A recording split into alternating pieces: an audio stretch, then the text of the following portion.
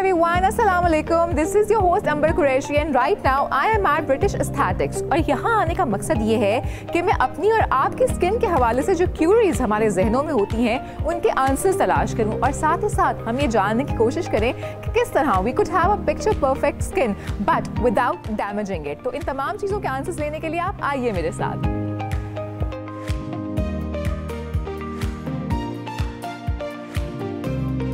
Assalamualaikum. Walaikum assalam. How are you? How are you? I'm, good. I'm, I'm good. So procedure is going on. Oh yes, All right. definitely. कौन सा procedure चल रहा है? Uh, basically, the patient came and uh, the patient wanted. Uh, she's getting married actually. All right. Yeah. So she wanted a new glowy skin with that. Wow. So we are doing the pico. That is for the rejuvenation. Okay. For the glowing skin, and in order to remove the dead layer of the patient. किस as को PRP के लिए जाना चाहिए किन किन problems के साथ हम पीआरपी के लिए जा सकते हैं That's a lot of questions Yes. actually.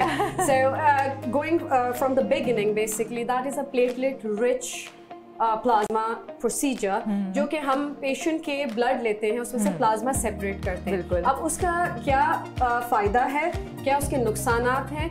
First thing first एक जो भी अच्छा एस्थेटिशियन होगा या कॉस्मेटोलॉजिस्ट होगा वो सबसे पहले आके स्किन को एसेस करेगा। ठीक है। ड्राई स्किन है ऑयली स्किन है इट्स अ कॉम्बिनेशन स्किन ठीक है।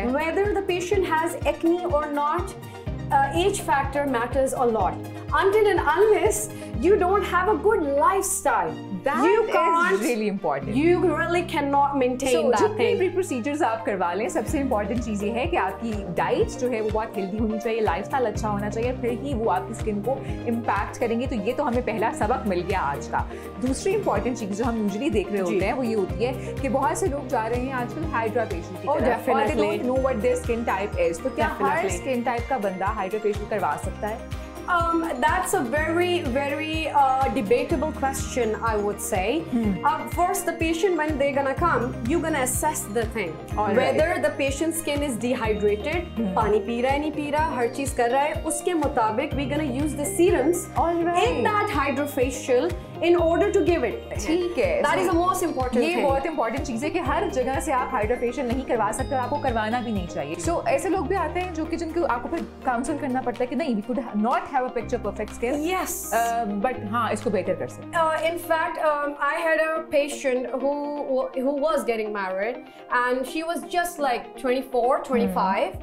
So uh, she wanted to get the Botox, and there is no harm in giving her it. so, सबसे इंपॉर्टेंट चीज़ जो कि आज हमने इन तमाम तर बातों से जज की है और जो हमने बहुत सारे क्वेश्चंस बाहर रेस किए थे कि क्या we can have a picture perfect skin या क्या हमारी स्किन बहुत अच्छी हो सकती है तो उन सबका एक ही जवाब है अ गुड कॉस्मेटोलॉजिस्ट जो कि आपकी स्किन को समझ सके। और दूसरी important cheese a good lifestyle a healthy diet और बहुत सारा पानी। और फिर ही आप मेंटेन कर सकेंगे उन चीज़ों को जो कि आपको अल्लाह ताला ने दी है। So we should be very happy grateful for the skin we have for the colour we have और उसी को इन्हांस करने के लिए हमें कॉस्मेटोलॉजिस्ट के पास आना चाहिए बल्कि ये सोच के नहीं आना चाहिए कि हम बिल्कुल चेंज हो जाएँगे। तो ये तो थी आज की हमारी तमाम तरह क्यूरीज के जवाब जो कि हमने सोचे थे कि हम लेंगे। कॉस्मेटोलॉजिस्ट डॉक्टर जहरा हमारे साथ मौजूद थी। Thank you so much Thank you so much. कि आपने हमें तमाम तर चीज़ों के बहुत सारे आसानी Sure, my pleasure, my pleasure. जवाब दिए। आई एम श्योर कि हम बहुत सारी क्यूरीज जो लेकर आए थे वो तमाम का जवाब आप लोगों को भी मिल गए होंगे। और इसी बात के साथ मुझे दीजिए इजाज़त अपना बहुत ख्याल रखिएगा। देखते रहिए डिस्कवर पाकिस्तान।